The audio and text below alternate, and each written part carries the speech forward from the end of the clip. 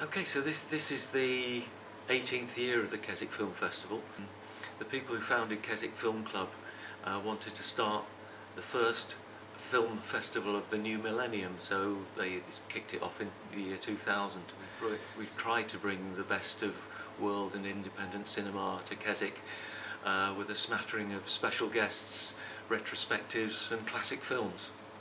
This year Greta Scacchi is here, uh, we've had Ken Loach, Andrea Arnold here, and of course our patron was Sir John Hurt, who sadly died recently. I think it's got a number of benefits to Keswick um, overall. It's the first festival of the season, so it brings visitors to the town at uh, a time uh, when it's quiet on, on the visitor front. Uh, so it, it boosts the local economy that way. People will stay here, they'll eat here. Um, and I think it puts Keswick and the Lake District on the map from a for a different reason. It's known as the adventure capital of the lakes. Obviously, we've got the great outdoors, cycling, walking, uh, but the cultural side of, of Cumbria needs to be promoted as well, uh, and the film festival is an important part of that.